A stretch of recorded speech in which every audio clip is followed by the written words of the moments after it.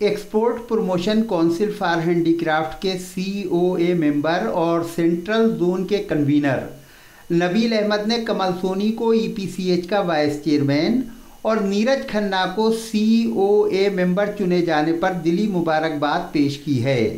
नबील अहमद 16 अक्टूबर की रात को होटल हॉलीडे रीजेंसी में एम एच ई ए तथा यस की ओर से आयोजित भव्य अभिनंदन समारोह में भाग लेने के बाद सिटी चैनल के साथ बातचीत कर रहे थे। विदित हो कि messrs Nawab regency, Rampur road, Mustafabad, Moradabad के पार्टनर, नबील अहमद नहायत खुश अखलाक, मिलनसार और व्यवहारिक इंसान है। यही कारण है कि उन्होंने पहली बार 2019 में सी ओ ए सदस्य पद का चुनाव लड़ा और अच्छे बहुमत के साथ ईपीसीएच की प्रशासनिक समिति के सदस्य चुन लिए गए। इसके बाद अब 12 अक्टूबर 2020 को दिल्ली में आयोजित ईपीसीएच की प्रशासनिक समिति की एक मीटिंग में उन्हें ईपीसीएच के सेंट्रल जोन का कन्वीनर चुनकर न सिर्फ़ उनकी जिम्मेदारियों बल्कि उनके कद में भी इजाफा कर दिया गया। विभिन्न प्रश्नों के उत्तर में मिस्टर नबील ने कहा कि उन्हें सेंट्रल जोन के कन्वीनर की हैसियत से जो ज़िम्मेदारी सौंपी गई है वो उसे पूरी ज़िम्मेदारी से निभाने की भरपूर कोशिश करेंगे। उन्होंने कहा, देखिए, पहले तो मैं तमाम शहर के निर्यातकों को बहुत बहुत शुक्रिया करना चाहूँगा, जिन लोगों ने मुझे सी मेंबर बनाकर ईपीसीएच में पहुँचाया। और दूसरा मैं नीरज खन्ना जी को बहुत बहुत दिल की गहराइयों से मुबारकबाद देना चाहूँगा जो ईपीसीएच के अभी जो चुनाव हुए हैं उसमें वो जीत कर E P C H C as A C member पहुँचे हैं। और इसी कड़ी में मैं कमल सोनी जी को भी बहुत हार्दिक बधाई देना चाहूँगा वो ई पी सी एच के वाइस चेयरमैन बने। आगे जो ज़िम्मेदारी मुझे दी गई है एज अ रीजनल कन्वीनर उसको मैं पूरी कोशिश करूँगा, पूरा प्रयास करूँगा कि बाखूबी उसे निभाया जाए और यहाँ इंडस्ट्री की जो समस्याएँ, जो परेशानी है, उसको एज अ टीम उसको सुलझाया जाए, उसको, उसका समाधान किया जाए।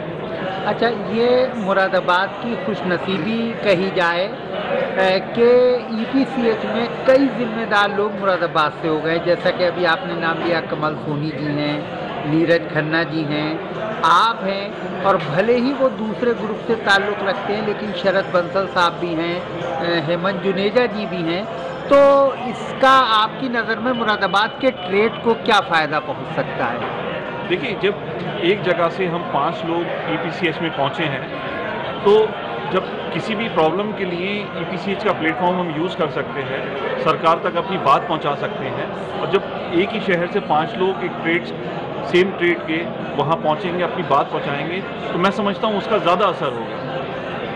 हाल फ़िलहाल में कंटेनर्स की बहुत प्रॉब्लम हो रही है। तो इस सिलसिले में आप और आपके और साथी जिम्मेदार जो हैं वो क्या कोशिशें कर रहे हैं और क्या उसका हल निकल सकता है? दे, देखिए इसमें बराबर मीटिंग्स चल रही हैं। ईपीसीएस के माध्यम से हम लोगों ने ये ये बात सरकार तक पहुंचाई है और रेगुलर इसकी मीटिंग्स चल रही हैं। और इंशाल्लाह जल्द बहुत जल्द इसका कुछ ना कुछ समस्या का समाधान होगा। अगर किसी निर्यातक भाई को कोई दिक्कत है कोई परेशानी है तो वो आप लोगों से किस तरीके से संपर्क कर सकते हैं? भाई हम लगभग हम सारे जितने सी हैं सबके कॉन्टैक्ट नंबर हैं लोकल हैं। अगर नहीं हैं तो वो किसी भी माध्यम से हमें कांटेक्ट कर सकते हैं। हमारे फ़ोन नंबर्स हैं हमारे मेल्स हैं उससे हमें कांटेक्ट कर सकते हैं। और जी। एक आखिरी सवाल ये है कि अगर मान लीजिए कोई ऐसा शख्स है कि जिसने किसी वजह से आपको वोट नहीं दिया या सपोर्ट नहीं किया तो क्या उसकी समस्या को भी सुनेंगे आप? बिल्कुल साहब हमें जिसने वोट दिया उसका भी स्वागत है और जिसको जो वोट नहीं दे सका किसी भी वजह से उसका भी स्वागत है। ऐसा मतलब नहीं है। आप सभी के लिए ये ये समस्या ट्रेड की है इंडस्ट्री की समस्या। अच्छा लिहाजा उसके हल के लिए आप कोशिश करेंगे? बिल्कुल बेशक बेशक। कोई अपील करना चाहेंगे इस मौके पर? आने वाला वक्त जो है त्योहारों का है। दशहरा है नवरात्र है दीपावली है ईद मिलादुलनबी है।